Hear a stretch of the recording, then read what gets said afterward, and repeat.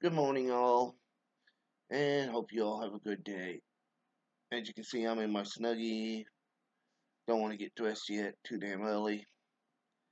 And as always, if you like what I do, please hit the like button, hit the subscribe button, uh, comment, and share. My first thing I'm going to talk about this morning is that Italy has surpassed South Korea in coronavirus cases, second only to China. I think Europe's going to be screwed. As the coronavirus, this is from Fox News. As the coronavirus outbreak spreads globally, Italy is now the number two epicenter, surpassing South Korea. In Italy, there are uh, 7,375 cases across the country, an increase of almost 1,500 from yesterday.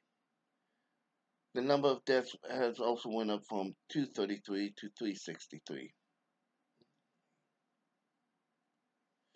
Italy now registered more cases of the virus than any country than China. Okay, you said that. And they have quarantined, tried to quarantine 16 million people, about a quarter of their population. But the genie's out of bag, and it's going to keep on spreading. I guess France and Germany both have a thousand cases. So, with their open borders, the disease is just going wherever it wants. This is why you need border security to try to slow down this stuff.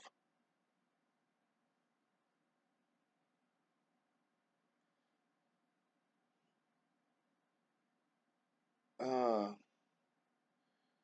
in northern um, Italy, weddings, museums, movie theaters, and shopping malls were all affected by the um, new quarantine that's happening up there where you're not allowed to do nothing. Uh,